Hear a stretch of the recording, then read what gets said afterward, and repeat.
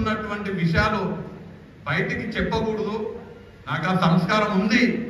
కానీ అయినా కానీ ఈ విషయం ప్రత్యేక పరిస్థితిలో చెప్తున్నాను కాబట్టి చెప్పాల్సిన అవసరం వస్తుందని చెప్తూ ఆనాడు నేను ఇవాళ ఎవరైతే ఆ పోస్టర్ల మీద మరి నరేంద్ర మోడీకి దండం పెడుతుండ్రో రాముడికి దండం పెడుతుండ్రో కానీ వాళ్ళకి సూటిగా సవాల్ విసురుతున్నాయి వాళ్ళు.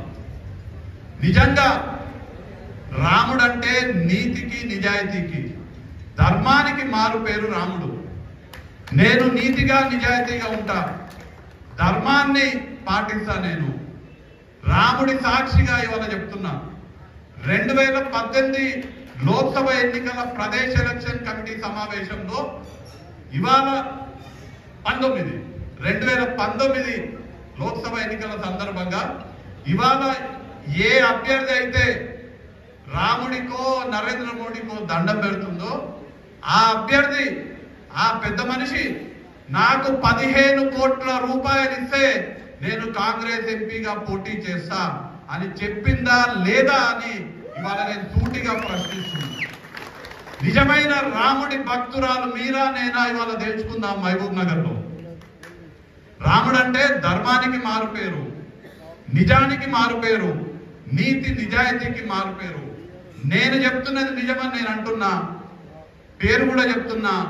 డికే అరుణ గారు ఆ రోజు కాంగ్రెస్ పార్టీలో ఉండి ప్రదేశ్ ఎలక్షన్ కమిటీలో ఉత్తమ్ కుమార్ రెడ్డి గారు జానారెడ్డి గారు షబీర్ అలీ గారు దామోదర్ రాజనరసింహ గారు బట్టి విక్రమార్క గారు రేవంత్ రెడ్డి గారు మన జిల్లాకు చెందినటువంటి సంపత్ కుమార్ గారు చిన్నారెడ్డి గారు ఉన్న సమక్షంలో మా అందరి సమక్షంలో నాకు పదిహేను కోట్ల రూపాయలు ఇస్తే నేను ఎంపీగా పోటీ చేస్తాను. మీరు చెప్పినారా?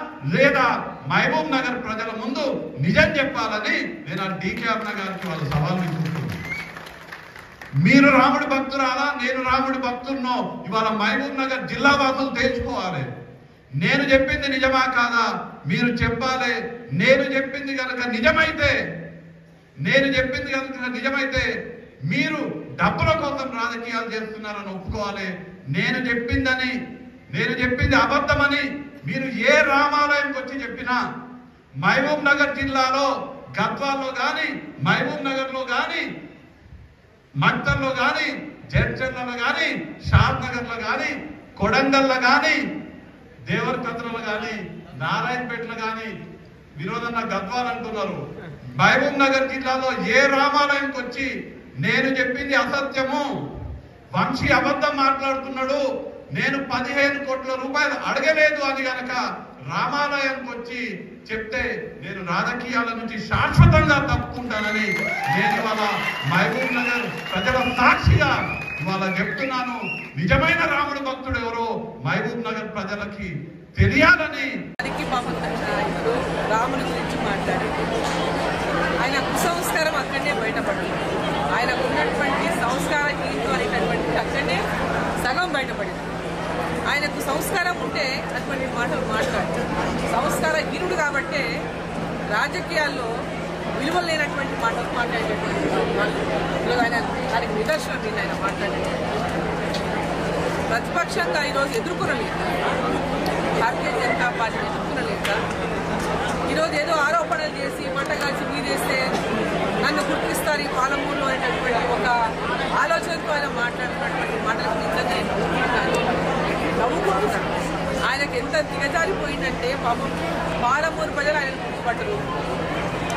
పోయిన ఓట్లప్పుడు వచ్చింది మళ్ళీ ఇప్పుడు వచ్చిండు ఆయన కల్వకుంటు కూడా ఓట్లప్పుడు వచ్చింది మళ్ళీ తిరిగి చూడలేదు.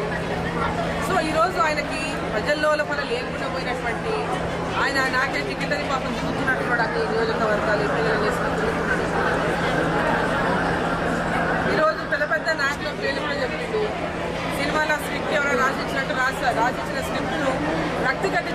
ప్రయత్నం చేసిండు వాళ్ళ స్ట్రాటజిస్ట్ పాపం రాసించినట్టున్నాడు.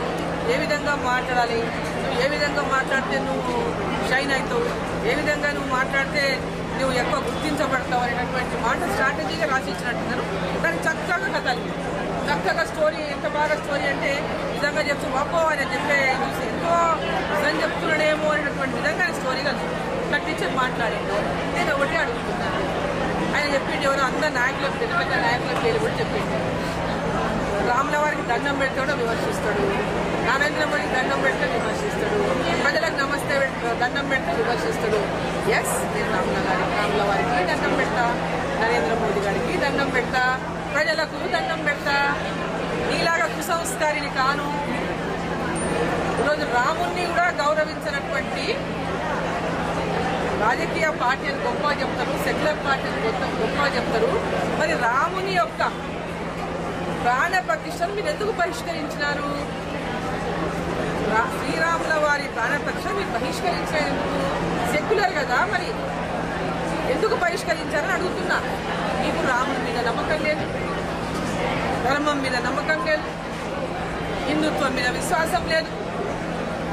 కేవలం రాజకీయం చేయడానికి మాత్రమే మీరు ఇవాళ రాజకీయంగా ఏదో విధంగా మైలేజ్ వస్తున్నటువంటి విధంగా మాట్లాడుతున్నాను తప్ప నేను అడుగుతా ఉన్నా ప్రజల లోపల నీకు గుర్తుపెట్టుకోవాలి నేను ఎవరో తెలుసుకోవాలి అంటే నీకేమని మాట్లాడితేనే నన్ను చూస్తారు పది మంది నా వీడియో చూస్తారని మాట్లాడుతున్నాడు పాపం ఎందుకంటే ఎక్కువ రాబట్టలేదు